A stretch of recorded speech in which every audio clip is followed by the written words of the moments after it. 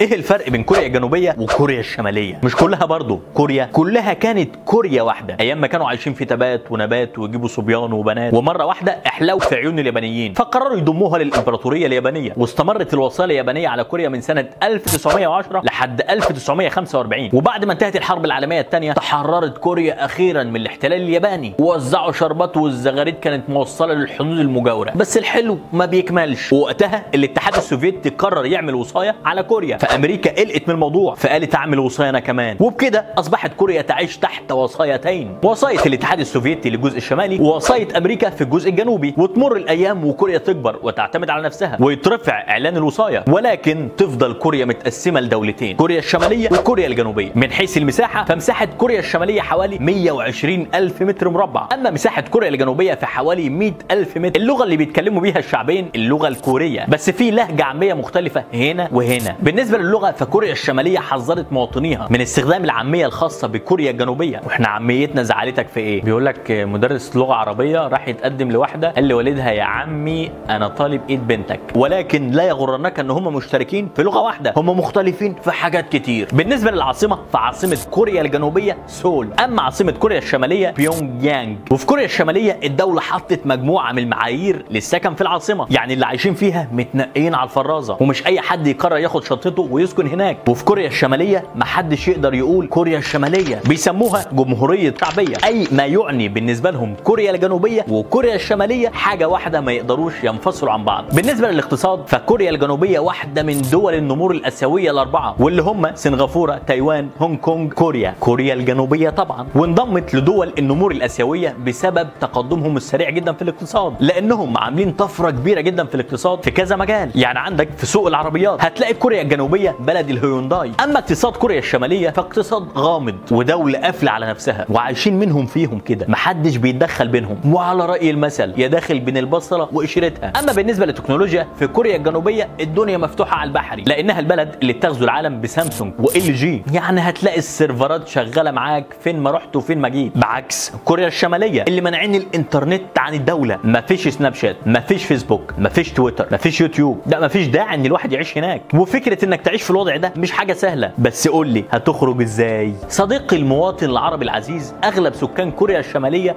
لا يمتلكون جواز سفر. بالظبط زي ما أنت قلت يقضي حياته ويتمشى بالعربية جوه كوريا. الكلام ده لو كان عايش في دبي ولا القاهرة ولا الرياض ولا الدوحة إنما ده عايش في كوريا الشمالية. يعني نسبة امتلاك العربيات حوالي 3% من سكان الدولة. وكلهم يا إما رجال أعمال يا دكاترة يا مهندسين يا ظباط. أما ال 97% فبيتخانقوا كل يوم مع الكمساري على الأجرة. واللي ما يعرفش الكمساري هو الراجل اللي في الأتوبيس اللي بيلم التذاكر أما بالنسبة للطرق وإشارات المرور في كوريا الشمالية فيعملوا إشارات مرور لمين يا حسره وفي عربيات. طب بالنسبة للتاريخ فتاريخ الكوريتين بيرجع للعصر الحجري القديم. لما اتسكنت شبه الجزيرة الكوريه وأقدم آثار الفخار الكوري بيرجع ل 8000 سنة قبل الميلاد. بس الكوريتين بعد الانفصال ليهم تاريخ منفصل. فكوريا الجنوبية بتقول إحنا انفصلنا وتاريخنا الجديد بيبدأ سنة 1948 أما كوريا الشمالية فرئيس جمهوريتها وزعيم الأمة وقاهر الأعداء ومحطم الداء وأمير الدهاء كيم يونج اون قال إن تاريخ كوريا الشمالية هي بالنسبة له جمهورية كوريا الديمقراطية الشعبية. وده بيبدأ من سنة 1912 من لحظة تولي جده كيم إيل سونج ولغى التقويم الميلادي واعتمد